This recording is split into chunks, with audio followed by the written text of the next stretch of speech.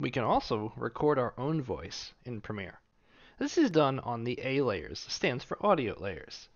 At the very end of our audio layer is a little microphone. If we just click our little microphone, we will get a countdown from 3, 2, 1 in our program monitor, and then we can start talking and say whatever we want. After that, we click our microphone again and it will stop. Here's an example of that.